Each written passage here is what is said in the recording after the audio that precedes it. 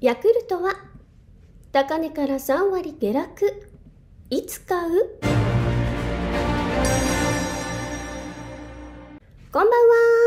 福利で増えるです。今回のテーマはヤクルト本社の株価予想です。ぜひ最後まで見てください。目次です。1企業分析。2決算分析。3株価予想。この順で動画を進めていきます。ヤクルト本社の企業分析から。ヤクルト本社はヤクルトなどを国内外で販売する乳酸菌飲料の最大手の企業です。ヤクルトだけではなく抗がん剤のエルプラットやカンプトなど医薬品のほか化粧品の製造販売プロ野球チームの運営も手掛けています。ヤクルトの大きな特徴がヤクルトレディによる宅配販路を持っていること。国内だけで101の販売会社、3万2700人の販売員を有しています。ヤクルトの歴史は、創始者である医学博士、白田稔が、京都帝国大学医学部で微生物の研究中に強化培養することに成功した乳酸菌白タ株を含んだ飲料を昭和10年にヤクルトの名称で発売したことに始まります。ヤクルトは腸内で有用な働きをする乳酸菌白タ株を毎日飲むことにより、人々の健康づくりに役立ててもらうことを願って世に出されました。戦後、ヤクルトを販売する販売会社組織は全国に拡大し、昭和30年にこれらの組織を統括する機関としてヤクルト本社が設立されました。白田博士は病気になってから治療するのではなく、病気にかからないようにする予防医学、腸を丈夫にすることが健康で長生きにつながる健腸長寿。そのために乳酸菌白タ株を一人でも多くの人に手軽に飲んでもらいたいという考えから、誰もが願う健康を誰もが手に入れられる価格で提供することを提唱しました。ヤクルトではこれらを白タイズムと呼び、すべての事業の原点としています。国内における1日あたりの販売本数は約1100万本。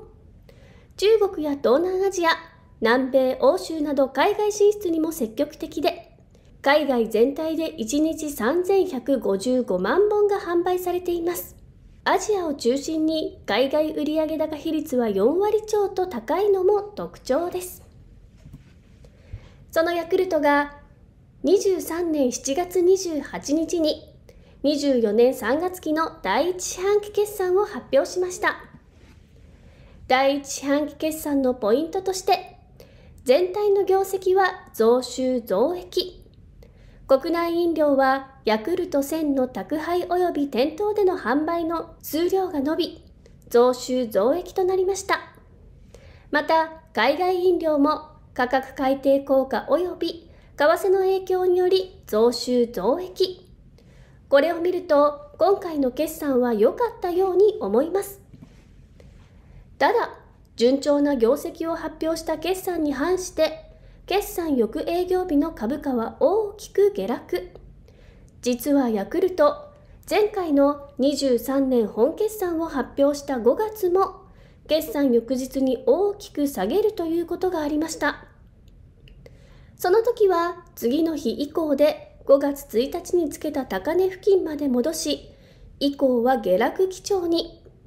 そこから3ヶ月は今回の決算内容を見極めたいという投資家心理を表したような横ばいの展開が続いていました。では、今回の決算を発表した後に株価下落につながってしまった決算の内容とは？第一四半期決算の数字と増減について見ていきたいと思います。売上は前年比13%増の1221億円。営業利益も15%増の169億円と好調な滑り出しです。ただ、海外比率が4割強と高い企業などで為替の影響もそれなりにあり、営業利益の増加分のうち、実に半分は為替によるもの。23年第1四半期と比べて22億円増えた営業利益のうち11億円は為替に助けてもらった形です。数字としては増収増益と順調ではあるものの営業利益の内訳を詳しく見ると前年に比べて伸びたのが国内飲料です。ヤクルト1000などを中心に順調に販売数量が伸びました。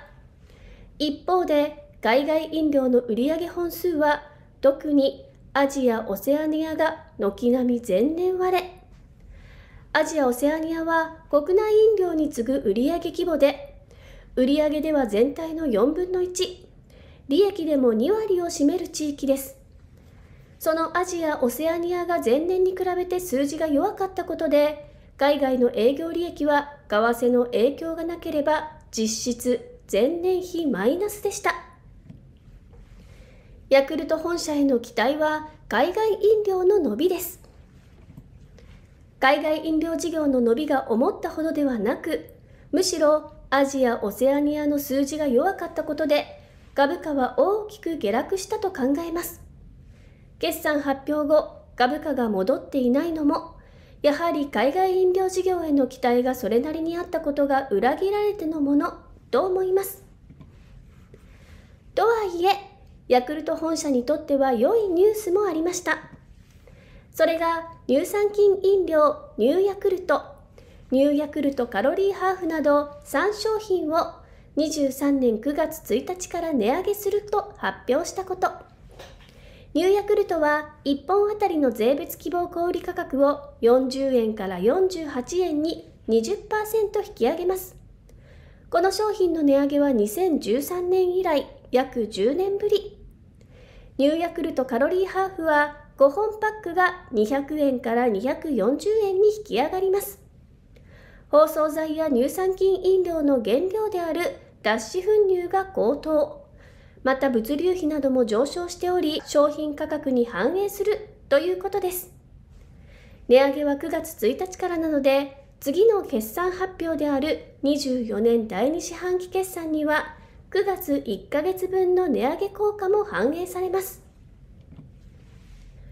今期24年3月期は増収増益の見込み。売上では前年に対して9.9%の増加。営業利益では14%、純利益では15%の増加を見込んでいます。第1四半期を終えて営業利益の進捗率は22.5%。10月1日からの株式分割も発表し、年間配当は実質増額となります。ではここまで24年第1四半期の決算をまとめます。ヤクルト本社は全体では増収増益。期待の海外飲料、特にアジアが前年割れとなり、それを受けて株価も下落につながったと考えます。国内飲料は9月から2割の値上げ。これは24年第2四半期次の決算から数字が反映されることになります。また10月1日には1対2の株式分割となり、年間配当は実質0.9%の増額となります。では続いて、ヤクルト本社の決算分析です。現時点でのヤクルト本社、配当利回りは、配当利回りとは現在の株価に対して年間でどれだけの配当を受け取れるか、日本株平均2.3%以上を高配当株と判断した場合、ヤクルト本社の配当利回りは1.45%。ヤクルトは継続的な増配を目指すことを最優先とし、将来の事業拡大や収益向上を図るための資金需要及び財政状況並びに当期の業績などを総合的に勘案して配当金額を決定しています。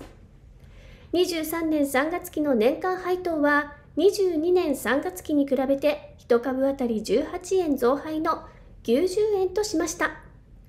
今期24年も増配を計画。24年3月期の1株当たり配当は第2四半期末で55円。期末予想では株式分割前の換算で56円としています。続いて PER 株価収益率です株価が1株当たり利益の何倍になっているかの指標コロナ前5年間の日本株平均16.6倍以下を割安と判断しますヤクルトの PER は20.4倍です過去3年間の平均的な PER 水準は24.5倍ほどなので、そこから見ると割安の水準。続いて PBR、株価純資産倍率です。株価が1株当たり純資産の何倍になっているかの指標です。コロナ前5年間の日本株平均1.25倍以上を、株式市場がのれん、ブランド価値を高く評価している有料企業と判断。ヤクルトは2.3倍です。続いて売上成長率。直近5年間で年何パーセント売上が伸びているか。4%以上であれば全世界経済の平均より伸びていると判断します。ヤクルトは3.8%。次に営業利益率。直近の年間決算の実績で売上に対して営業利益は何パーセントだったか。7.2%以上であれば日本株の平均以上と判断します。ヤクルトは13.7%でした。次に営業利益の成長率。直近5年間で年何パーセント営業利益が伸びているか。4%以上であれば全世界経済の平均より伸びていると判断します。ヤクルトの営業利益の成長率は8.7%。続いて生産性です。従業員1人当たりの営業利益はいくらだったか。300万円以上であれば日本株の平均以上と判断します。ヤクルトの23年3月期の生産性は221万円。最後に ROE 自己資本利益率です。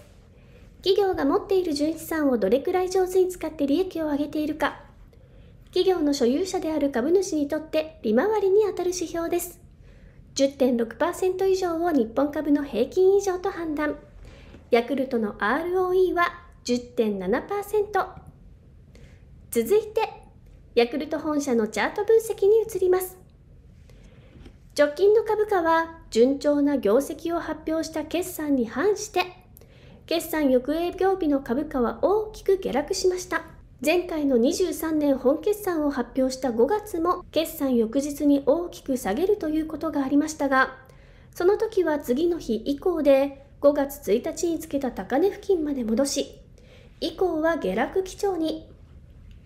そこから3ヶ月は今回の決算の内容を見極めたいという投資家心理を表したような横ばいの展開が続いていました。こちらは少し長い週足のチャートです。コロナショック時に4815円という安値をつけて以降は、その下値を下回ることがなく、株価は徐々に右肩上がり傾向となっています。今回株価1万円という大台をつけたことで下落基調に転換。では、長期はというと、こちらは20年以上の長期のチャート。長期のチャートで見てもジグザグしながらも株価は右肩上がり傾向と言えます。ここまでを一旦まとめると、ヤクルト本社は直近の株価は1万円をつけた23年5月を境に上昇一服。そこからは下落に転じています。長期的には上昇傾向が続いています。第一四半期決算は増収増益も海外飲料事業の数字が弱く、株価下落はそれを反映したものと言えそうです。23年9月からは国内飲料事業で2割の値上げを予定。また23年10月から1対2の株式分割が行われます。配当は増配傾向。株式分割により配当は実質増額となります。海外飲料事業に関しては26年稼働予定で、アメリカに2つ目の工場も新設予定。設備投資は継続しており、業績的には問題なく、今後も増収増益を続けられると予想します。時間はかかっても株価1万円は奪還すると期待。ということで、ヤクルト本社の株価予想です。増えるの個人的な株価予想は7644円から8602円まで上がると予想します以上です高評価チャンネル登録をぜひぜひよろしくお願いいたしますコメント欄にてぜひあなたのご意見もお聞かせください最後まで動画をご視聴いただき感謝しています。いつも本当にありがとうございます。幸運を。